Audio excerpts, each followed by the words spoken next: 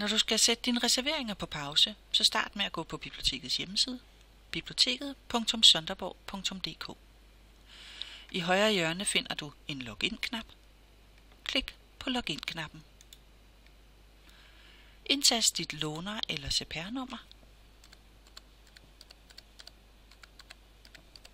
Og dernæst din firecifrede PIN-kode.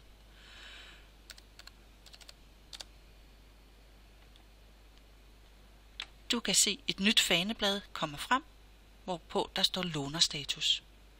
Klik på lånerstatus. I venstre side finder du en menu. Klik på punktet Rediger brugerprofil. Nu kan du sætte dine reserveringer på pause fra en dato til en dato. Klik i feltet, og så kommer der en kalender frem. Jeg kan vælge måned, jeg kan vælge år, jeg kan vælge dato.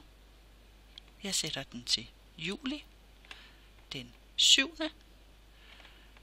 til juli, den 24. Husk at klikke på gem nederst på siden.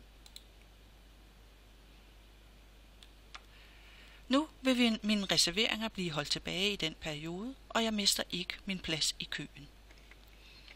Husk at logge ud, når du er færdig.